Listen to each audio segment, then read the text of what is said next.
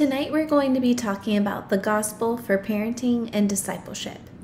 It may seem kind of odd for some of you to add these two topics together, but here's why they go well together. Our children do not belong to us. They were created by God for His purpose. They are His possession, and parents are entrusted with these blessings from the Lord. Being entrusted with something that is not yours means you're a steward. A better title for us parents could be ambassador, because as parents, we are ambassadors of Christ. Our role as an ambassador is simple to represent the one who sent you.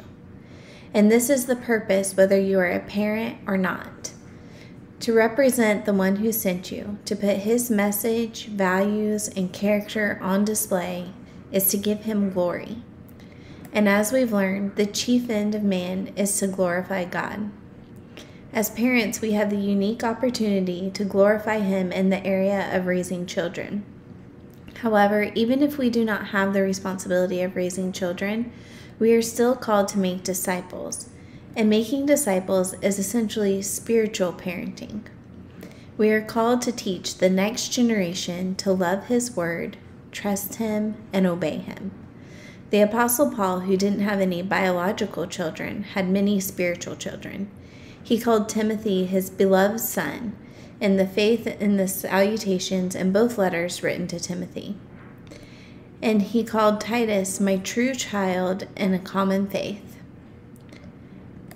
Parents with children at home, you are called to disciple your children by bringing them up in the way of the Lord. And if this is the only discipleship that you can do right now, that's okay. I know sometimes I feel like I'm not doing enough if I'm not in a committed discipleship relationship with other people around my age, or if I'm not evangelizing or going on mission trips or doing these other things. But God has you in your place with your children right now, and that is something that we can be thankful for and faithful to. Parents with grown children who have left their father and mother, you are called to disciple your children by encouraging and loving them and faithfully praying for them. Spiritual parents, which is all of us who call ourselves Christians we are called to disciple the next generation by teaching them and supporting their parents. Those of us who are members of a local church have the specific responsibility of discipling the children there. I want to pause here because although we are going to be talking about parenting, I think it's important to note that discipleship does not and should not always have to be an older person mentoring a younger person. We know this isn't the case because in Paul's discipleship of Timothy, he encourages Timothy to teach and disciple others despite his young age. 1 Timothy 4:12 says, "Let no one despise you for your youth, but set the believers an example in speech and conduct in love and faith and purity." Wisdom and faith often come with age, but the dynamic of their discipleship relationship is that of a mature Christian discipling an infant Christian. 1 Peter 2 2 through 3 says, Like newborn infants, long for the pure spiritual milk, that by it you may grow up into salvation, if indeed you have tasted that the Lord is good. Growing up, my grandma always had chocolates in the house, and my grandpa made the best homemade Oreo ice cream. I knew whenever I went to my grandparents, I would get a taste of something sweet. When I was about six years old, I was staying with my grandparents at their lake house. She had these brown things in the pantry that looked like gooey, melty candies. I was supposed to be getting flour to make pancakes, but I stuck my finger in the gooey mess and tasted it. I was trying to be sneaky, but there was no covering up the disgust on my face and in my voice. I had to come clean and tell her I tried her disgusting candy. But turns out it wasn't candy at all. It was roach bait. My grandma panicked, called my mom in poison control, and kept making me rinse my mouth out. Thankfully, everything turned out fine, but it could have been a very dangerous situation. Nowadays, these kinds of roach killers have plastic traps around them, probably because of kids like me. The point is, young children need a protector, and the same is true of young or immature Christians. At the moment of our conversion, we get a taste of the goodness of the Lord and we long for more.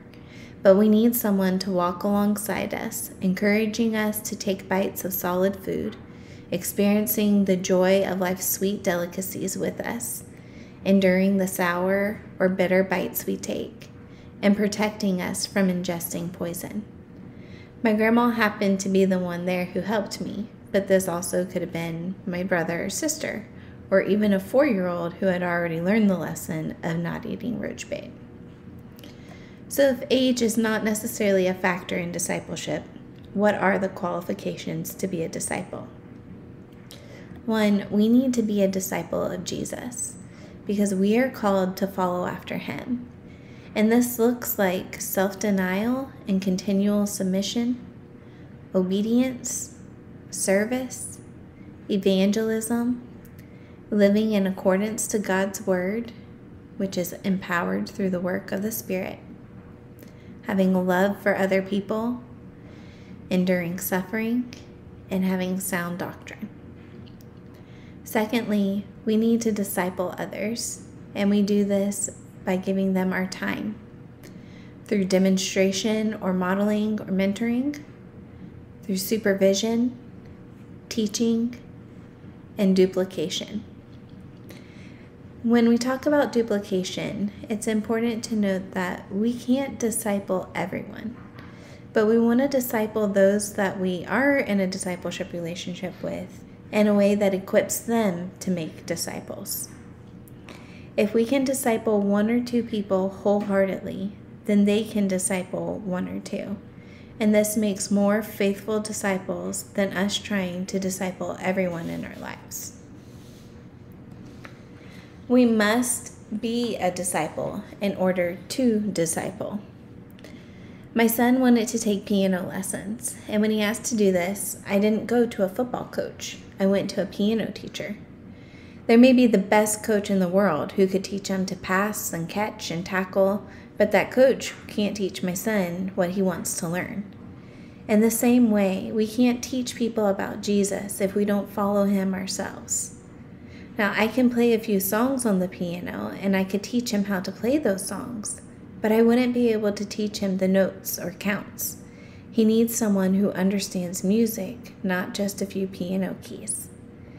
Now, I've been learning some with him so that I can help him when he practices at home. But to begin, I had to find someone with that skill, someone with a good reputation and a personality that would mesh with his. The same is true of discipleship sometimes we have to refer out. I think that my doctrine is pretty sound, but I can't always answer someone's questions. The good news is, I have elders and wiser brothers and sisters in Christ that I can turn to when I need help. I've experienced some suffering and loss in my life, but I don't have much experience with cancer. While I can offer prayer and sympathy to someone who's facing a cancer diagnose, diagnosis, I can't disciple them through that. I need to connect them with someone who has gone through or is going through it. We shouldn't be afraid to acknowledge our limitations within a discipleship relationship, whether it's with our kids or with someone else. It's more beneficial to tell someone, I think you should go talk to so and so about that, or let's go to the elders together and see if they can help us answer that question, than to try and solve it on your own. While we may be called to disciple someone, God doesn't put that burden on us alone. We have the church for help.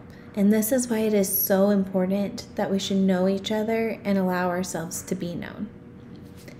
Another example is when my husband was in optometry school. They had a mentorship program where someone from the year ahead was paired with someone from the year prior.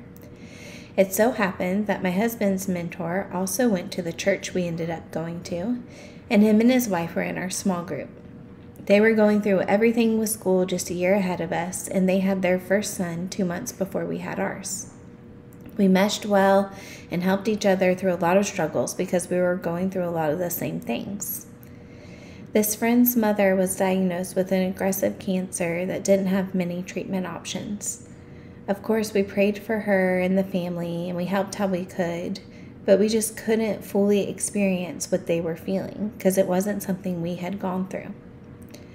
However, there was an older lady in the church who also had cancer, and she just so happened to be their neighbor. The faith and peace that she maintained throughout her battle and right up to her death was a source of hope and encouragement to them. Also, while all of this was going on, I worked with a girl whose dad had recently passed away from cancer.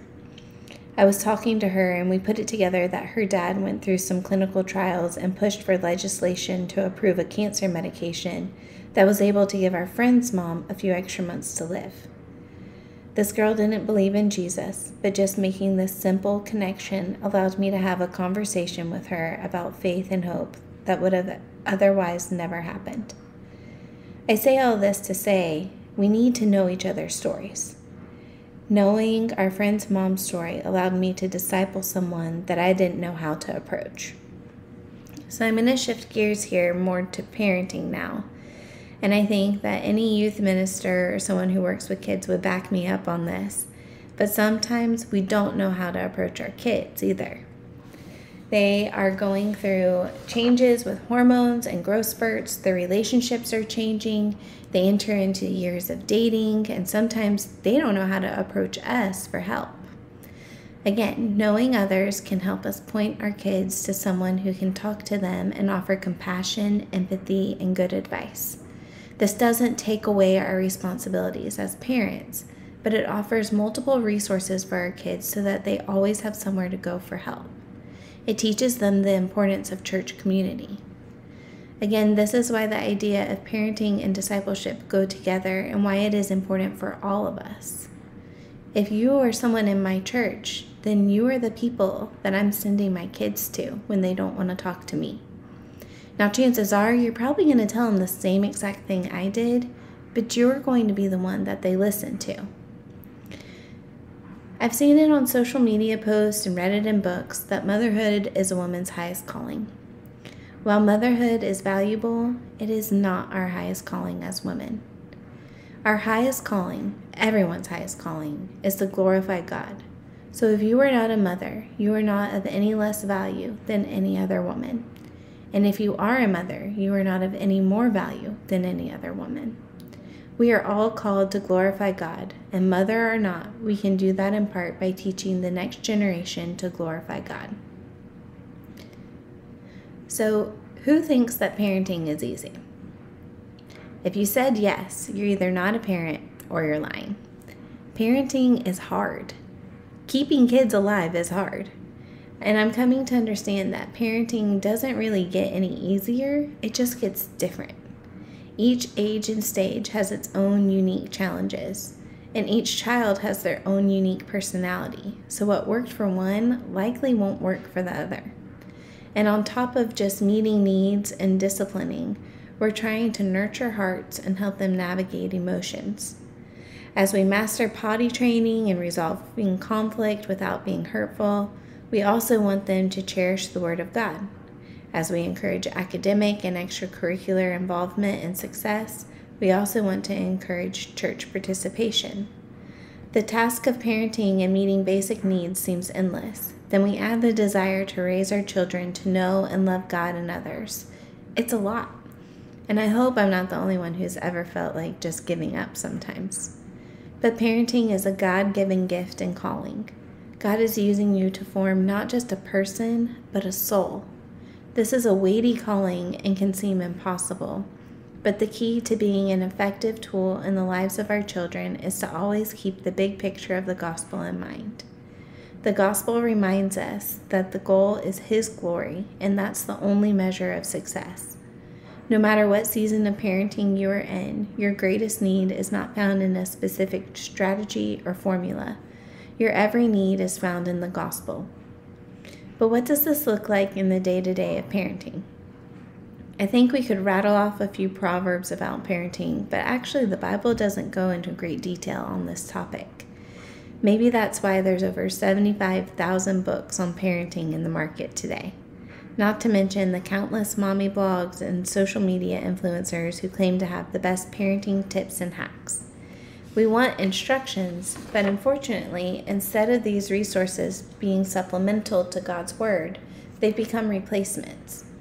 Regardless of how few parenting tips can be found in Scripture or how much can be found in the world, the Bible offers all of the principles you need to parent your child as God intends. Consider Deuteronomy 6 4 through 9. Hear, O Israel, the Lord our God, the Lord is one. You shall love the Lord your God with all your heart, and with all your soul, and with all your might. And these words that I command you today shall be on your heart. You shall teach them diligently to your children, and shall talk of them when you sit in your house, and when you walk by the way, and when you lie down, and when you rise. You shall bind them as a sign on your hand, and they shall be as frontlets between your eyes. You shall write them on the doorposts of your house and on your gates. Just in 10 verses, we are offered the framework to sufficiently guide us in the monumental task of raising children. First, we are to love God, and the expression of our love should be obedience to His Word. Then, we are to teach the Word of God to our children in every life circumstance and season. Rather than tying boxes with verses on our foreheads, we are to have a Bible saturated worldview where God and His Word are the filter through which we see everything in life. Modeling and teaching this biblical worldview is a means through which God will shape our children to glorify Him. God's primary concern is not whether or not is whether or not our child participates in travel baseball. It's not whether or not our child grows up to be a doctor or engineer. His primary concern is the affections of our child's heart. The teaching of His Word is a means to protect them against idol worship. The world is going to tell them to seek whatever makes them happy, whatever feels right, and whatever that is to our children, it can quickly become their God. Consider the Israelites. After Joshua led them into the promised land, that generation died. The Bible says in Judges 2:10 that the next generation did not know the Lord or the work that he had done for Israel. The next verse clearly reveals the repercussions of this lack of instruction from their parents. The Israelites did evil in the eyes of the Lord. They forsook God and followed and worshiped various gods of the peoples around them. We are after our children's hearts. We want them to know, love, and worship the living God. The sole purpose of parenting is not conversion, but as we give guidance and teach our children about idolatry, submission to authority, and character, we are showing them their need for a Savior. One of the hardest, but also most freeing facts about parenting is that we cannot save our children. While we are certainly given the responsibility to instruct and discipline them, we are not meant to be their Savior. Only Jesus can do that. And instead of that causing us to feel out of control, we should rejoice that the true and perfect Savior takes that burden off of us and freely puts it upon Himself. Instead of letting that fact frighten us, we should hit our knees in humility and pray that our children would come to know Jesus at an early age. Because Jesus is the Savior, we don't have to dwell on our mistakes or worry about ruining our children. As God uses our children in our lives, or as God uses us in our children's lives, He uses our children to grow us as well. Our good Father is after our hearts. This is seen in how He uses parenthood to sanctify us. In his brilliant design, he has allowed the intricacies of parenthood to be sort of a mirror to show us our weaknesses, sin tendencies, and need for him.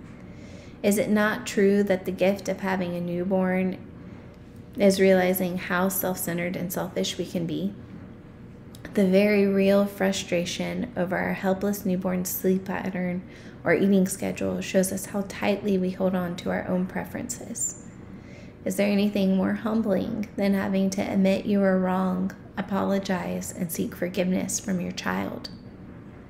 When your three year old throws a tantrum, or your preteen complains incessantly, or your teenager shows apathy or annoyance, We are reminded of our own heart's attitudes before our Father. We grumble and complain. We seek self comfort over obedience and throw a tantrum that He's not doing things our way. And this is a gift, it's His grace. And as we lean into Him in these moments of weakness and frustration and introspection, we confess our need for a Savior.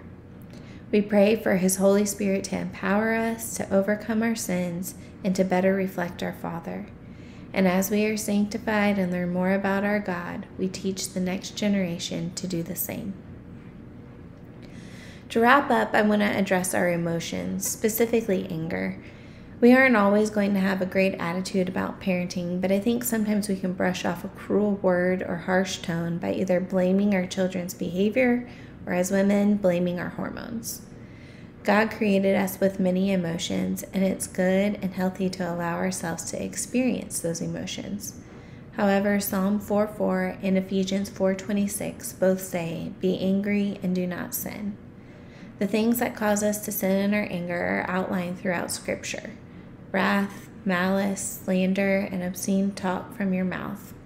From Colossians 3:8. Philippians 2:14 lists grumbling and arguing. Blaming and arrogance and condescendence is in Jude 1:16, and bitterness, rage, and brawling are in Ephesians 4:31.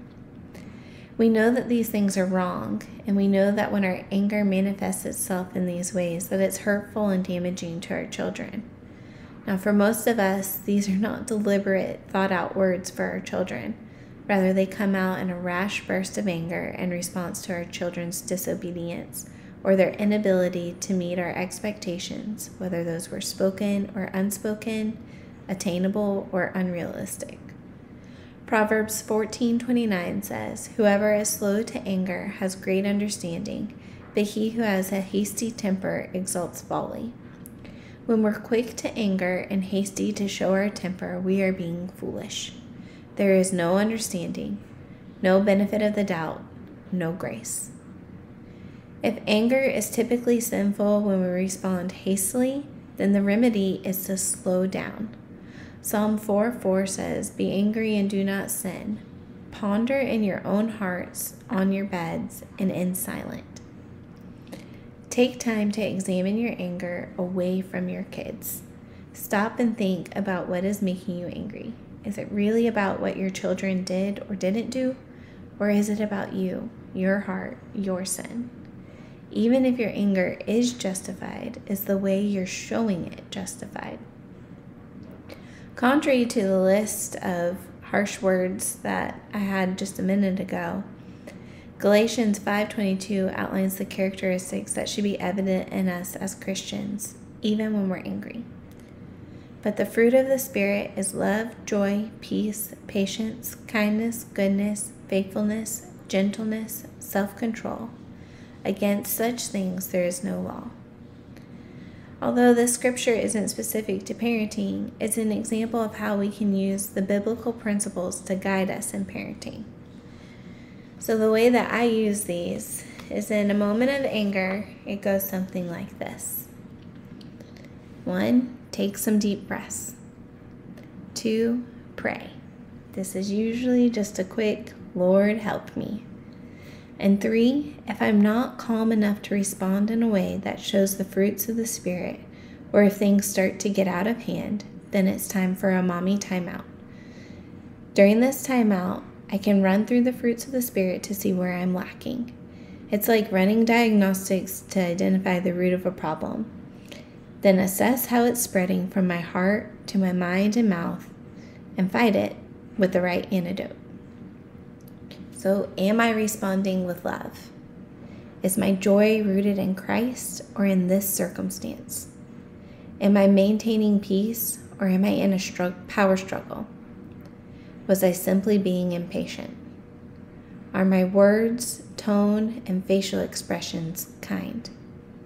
Am I reflecting God's goodness and His grace and mercy? Am I being a faithful steward of the children God has given me in disciplining them in a way that strengthens their faith? Is my voice gentle? Am I under control? Answering these questions helps me to see where my sin is coming from so that I'm able to pray about it more specifically, find scripture to meditate on that is directly related to that issue, and be more mindful of using and showing the fruit of the Spirit I'm lacking in. There's a handout. Uh, in your handouts, there's a chart that I made based on the ways that I struggle and need to be reminded of this. That may be helpful to some of you. If this isn't something that you really struggle with, then please take time to fill out the chart in the way that is most helpful to you. So, our homework for this week is to look at what are your responsibilities as an ambassador of Christ in your home. If you don't have children at home, then what does that look like in your church? Next week, we'll be talking about the gospel for seasons of waiting and suffering.